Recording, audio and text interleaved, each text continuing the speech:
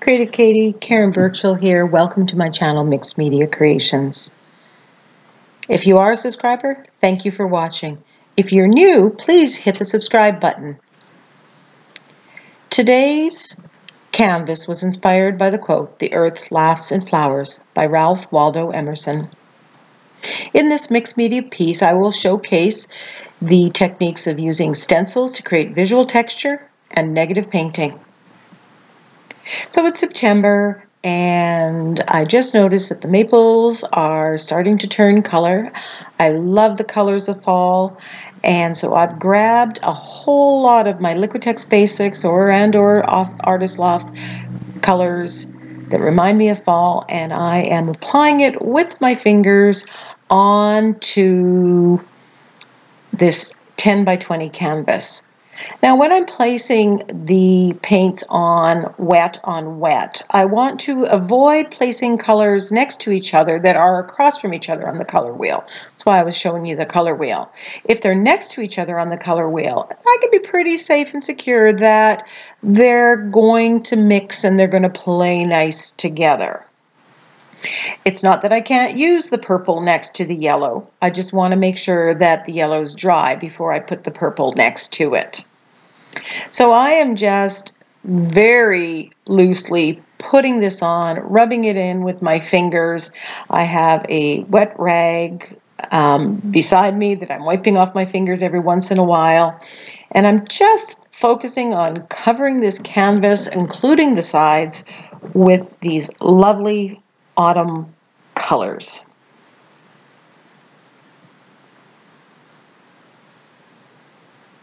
This canvas I did pre-gesso it, as I do with most of my mixed media pieces.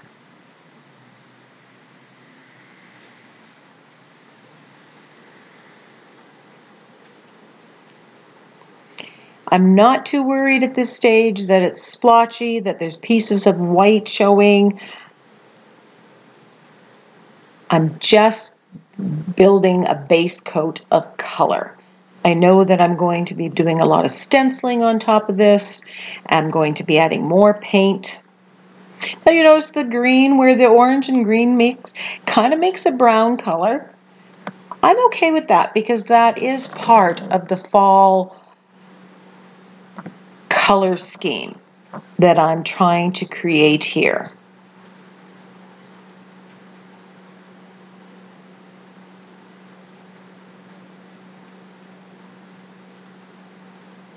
This is Deep Violet, which is one of my all-time favorite colors. And it just pops next to the yellow, next to the green. It just comes to life. If you don't have a tube of this Deep Violet, Liquitex Basics, oh, you got to add it to your to your repertoire. Now you'll notice that some places it's a little darker, a little lighter. I'm I'm thinking that's adding visual interest to, to this canvas. Now, while I'm doing this on a 10 by 20 canvas, you can do this on an art journal page following the exact steps. In fact, it'll probably be easier. Working on a canvas is somewhat difficult because it has give. Working on a flat surface such as an art journal page or a canvas board is somewhat easier, especially when it comes to stamping and stenciling. This is Art Minds paint, and it's a deep burgundy color. I was hoping for a richer burgundy color. I'm in search of a really rich burgundy. But this one has kind of a more of a gloss finish than the other paints.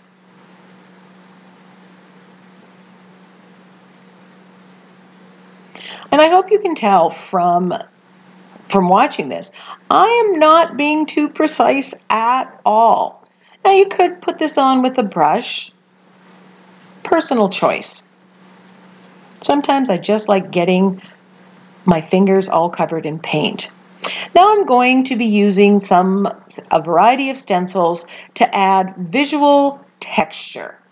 Now I'm using the same colors that I used in the background through the stencil. Now this one is, they're all the Crafters Workshop stencils. This one's the Ripples stencil which I've had for a long time, but it really hasn't been used. And oh my gosh, I really am loving it. So I'm putting it on, and often when I use one stencil, I might put on a couple different colors. And while I'm trying, I'm going with the purple paint, the deep violet, I'm going to go on lighter areas. I'm not too worried.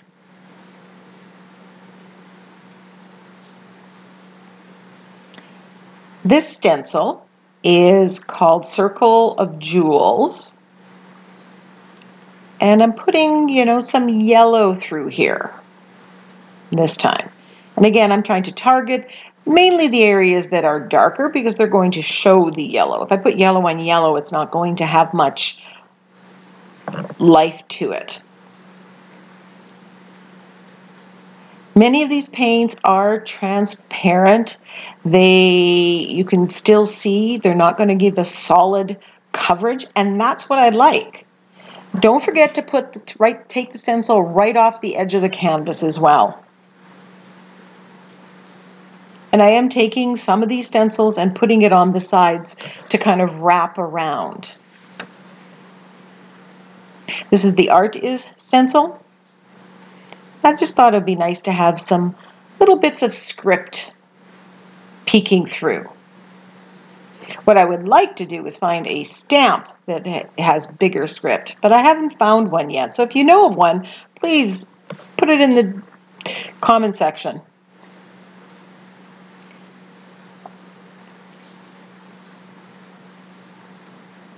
My goal here isn't to even have this necessarily readable It's just another piece of visual interest.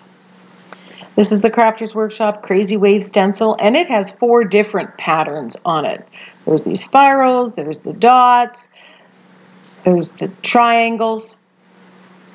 So when you pull out this one, you actually have four different textural items. I'm also using Prussian blue here. And I know you've heard me talk about Prussian blue. It is, again, one of my favorite colors. Again, and primarily because it's beautiful on its own, but when you put it on top of the pinks that are in here, or the magentas, or the purples, it really comes to life. I'm using this Coastal Escape, I believe it's Kaisercraft stencil. But the links to all of these will be in the description box below. So click the arrow and go down. And I'm putting this stamp, which looks like netting, with gold acrylic paint. I want that richness, I want that shine and shimmer.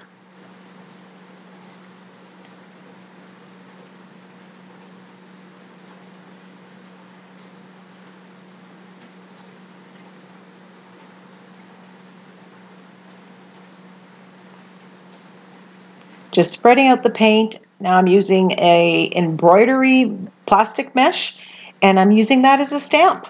And it works perfect. It's one of my favorite stamps.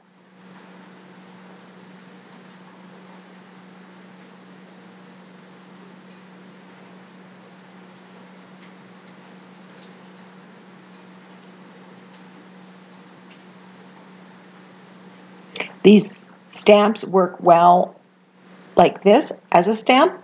Now this is shelf liner. I'm putting on some gold with this shelf liner. Another one of my favorite stamps.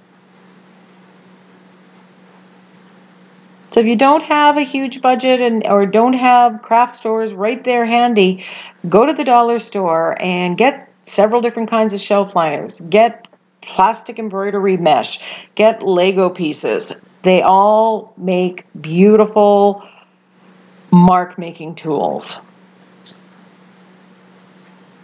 I'm absolutely loving this background right now, the richness of these colors.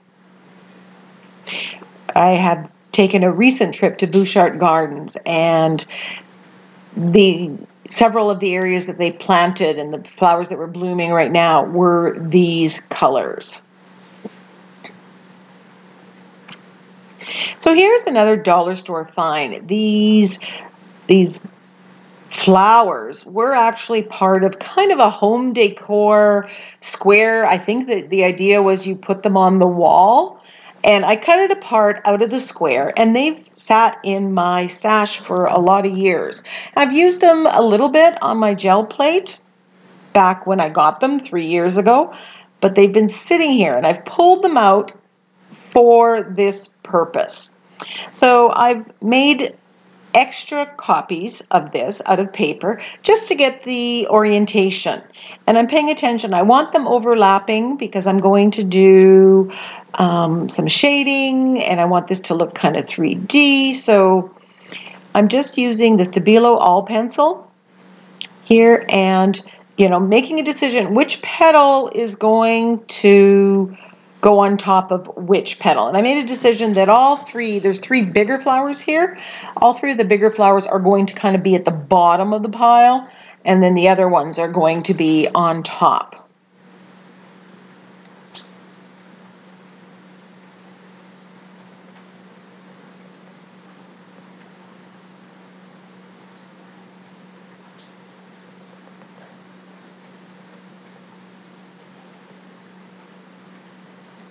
I like using this Stabilo All pencil because it will disappear. You know, once it's activated and I take a baby wipe, I can just get rid of any of the marks. If I make a mistake, if I change my mind about where I want something, I can erase it. You can use watercolor pencils for this um, as well. I'm using the black because you need it to show up. Um, if this was, I might also have used the white one.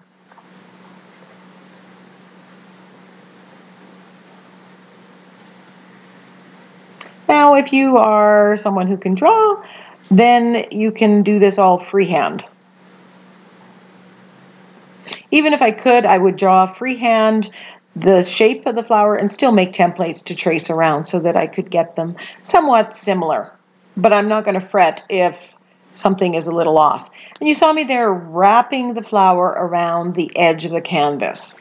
You're going to see the edge of the canvas and the flowers, you know, just wrap around the edges. It looks very cute.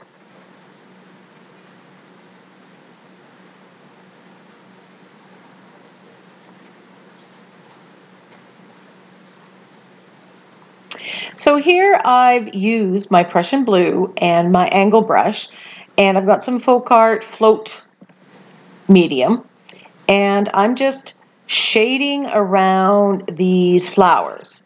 And I'm, not filming the entire part here because it does take a considerable amount of time. And I've decided, and I'm shading inside of the flower. Sometimes I shade on the outside, sometimes I shade on the inside, sometimes I do both. But I'm loving how the Prussian blue is just making these flowers pop out.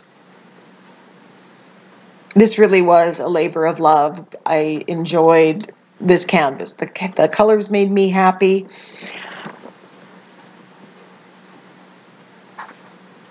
I'm just using the Q-tip there to get rid of any paint that it goes where I don't want it to be.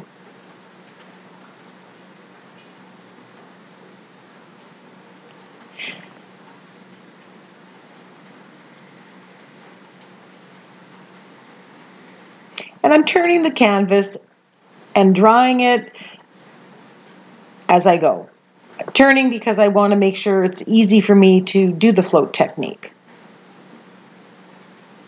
It's a bit of an eye strain because there's a lot going on on this canvas between the bright multi-colors and the stencil patterns and you know I'm trying to find my Stabilo all pencil lines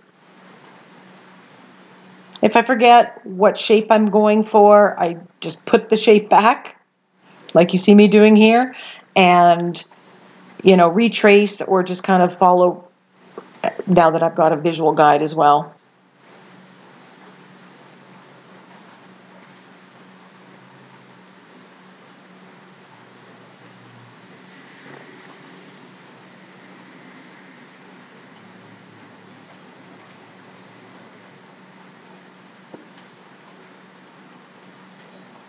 Got a little too dark, so I'm just lifting some of the paint off.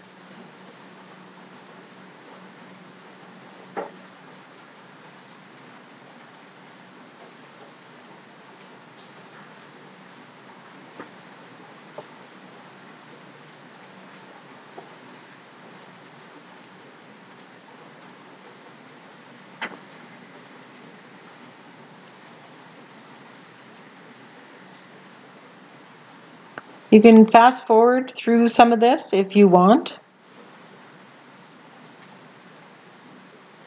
I find doing this float technique very calming. I could just do you do that for hours and hours.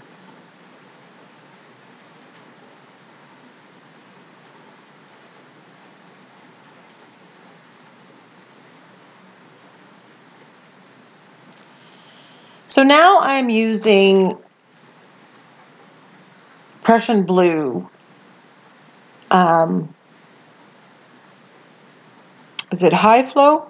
It's the only golden fluid acrylic. And I, I thought it'd be a little bit more transparent. And I'm just painting the negative parts out. Now, while it looks like it covers it, you can still see the patterns and the textures that we created in this background. It took me a while. I think it was overnight. I was highly considering just leaving it just with the shading because I really liked how it looked. But I thought, okay, no, my plan was to do negative painting, so I'm going to stick with that.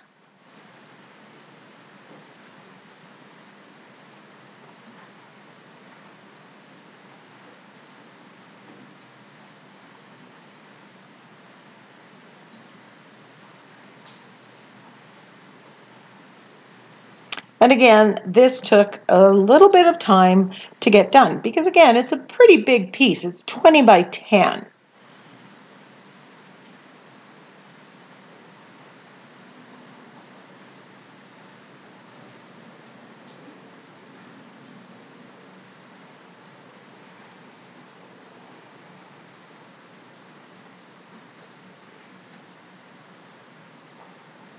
And I believe I'm using a small angle brush here to get the paint into these little, little bits. So now that all of that's done, I'm going to do the float technique with white. And I'm this is going to add highlights to these flowers.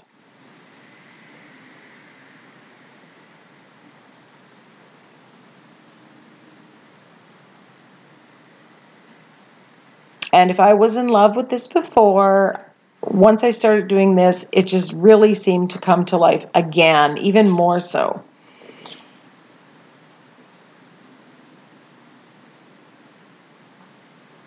Now my goal isn't to make a white line right around it. I'm just adding some highlights. And like I said in one of my past videos, I'm not really following the rules of where the light's coming from. I'm just going by what looks good.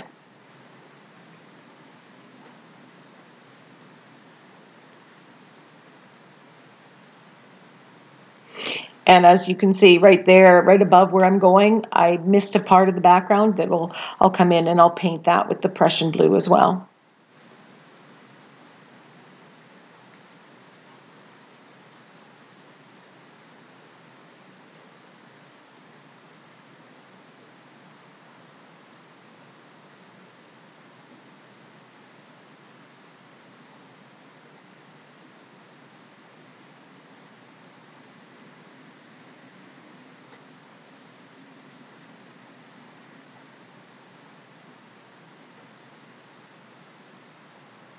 So I'm just going to continue using this as I go. And as I've said before, there is a technique tag video where I talk about shading using various ways, including this float technique. This technique takes some getting used to. I learned it when I did folk art painting on wood. And as I started doing a lot of shading in different ways on mixed media pieces in my art journaling, I found myself remembering this and applying it, that technique, to this medium.